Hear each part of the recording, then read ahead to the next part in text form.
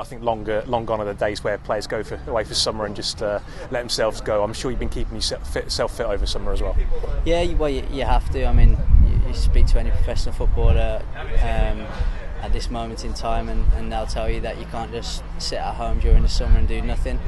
Um, you, you, have to look after yourself, but at the same time, you have to um, not do too much. And um, I feel I've, I've found a good balance over the close season. I've ticked over nicely and ready to go. Yeah, don't want to come back burnt out or anything, do you, ahead of the season? No, that's it. Yeah, well, we uh, we sat down and spoke with the manager yesterday, and um, it's all about the, the first game at home against Yeovil, and um, that's when we need to be peaking. Uh, we need to be at the peak of our fitness for then, and that's what we're aiming to do.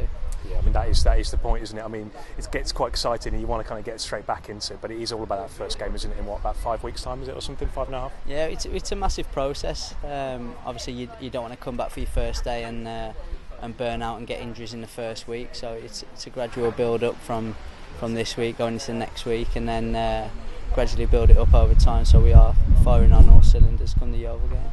And for a, on a personal level for yourself, it's the first time you've been. I mean, I know you did a pre-season last year with Northampton, but you didn't really have many games under your belt from the, pre- the previous season. So is it nice to kind of go into this one feeling like you're kind of back to back to where you should be now?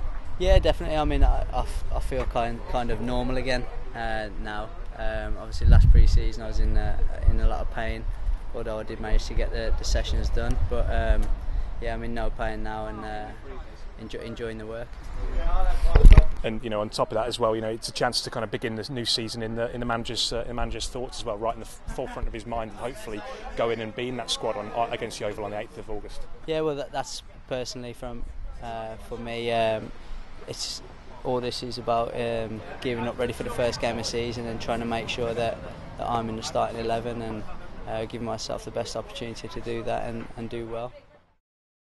we're attracting uh, very good players. You look at Lee Holmes, who signed, um, he's arguably a championship player, and uh, he, he's, he's signed for us, and that's only going to benefit us. And I'm sure there'll be a few more players of that calibre coming through the door as well.